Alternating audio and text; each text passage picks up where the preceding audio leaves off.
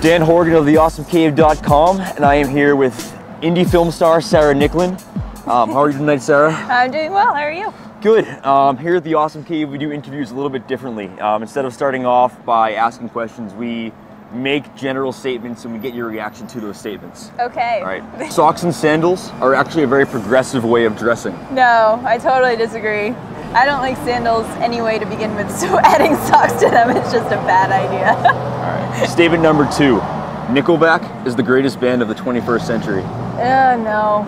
I can't. Statement number three Katy Perry has a cat named Catty Purry. Oh, she might. I don't know. Sorry. That'd be pretty Alright. ironic if she did. All right. And uh, final statement Selena Gomez had a purity ring until she started dating Justin Bieber. Unfortunately, I don't know who that is, so I don't Selena get that Gomez? One. I don't know. Sorry, I'm really bad with all Terrible the- taste in music. No. Selena Gomez, no Nickelback. I'm just what can I say? You'll have to educate me. All right. Word up. The movie that you um, are pretty much known for, and it's just in the indie horror community, is Nun of That. Yes. Um, talk about that experience. Um, anyone who watches the trailer of that, um, it looks insane. It looks like a lot of fun. Um, It is. It's pretty insane and a lot of fun, off the wall comedy, Mm-hmm. action.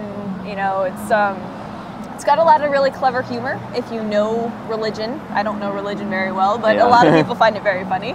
But it's an equal opportunity offender, so you, don't have to feel targeted. It goes after everybody.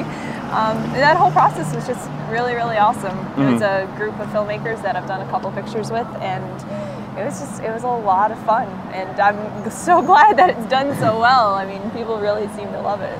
you moved out here um, like seven or eight months ago to Yes. Los Angeles. Um, what's your ultimate goal as an actress in your career? Um, ooh. um, I would say to constantly always be working in good quality pictures or TV shows. Not like a, I would want like a reoccurring or like a bunch of like little guest star spots. I don't think I'm really that interested in like having my own show. I think that'd be Mhm. a little much. Um, because then you have to deal with the whole being super famous and all that sort of stuff, which is really not that interesting to me. Um, but I really I love indie films, so if I could just keep doing like good roles in good indie films, that that'll be it. I'll be happy. Do you play video games at all? I I do a little bit. My husband is a big big gamer, Really? so he's roped me into um, uh, Portal and Quake Three. Those are like I like those. Those Yeah. are my favorite. ones. We don't like video games. They're for nerds. They're for nerds, yes. they almost made a video game of Nun of That, actually. Really? Yeah, they, were- they were talking about it. What, what would your character be like? What would your weapons be?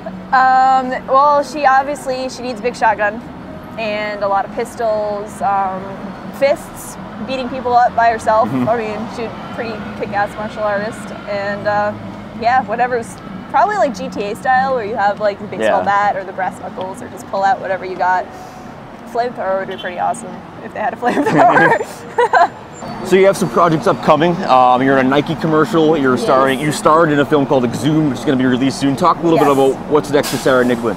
Um, well, hopefully Exhumed is going to get picked up and do really, really well. Hopefully better than Nun of That, I would expect, because it's a really, really fantastic film. It's just, it's a, it's a whole nother level, and it's just, it's very different for that director because he's used to doing kind of the more comedies, and this is much more of a psychological thriller. But it's black and white, and it's shot in the red, and it's just absolutely, it's gorgeous.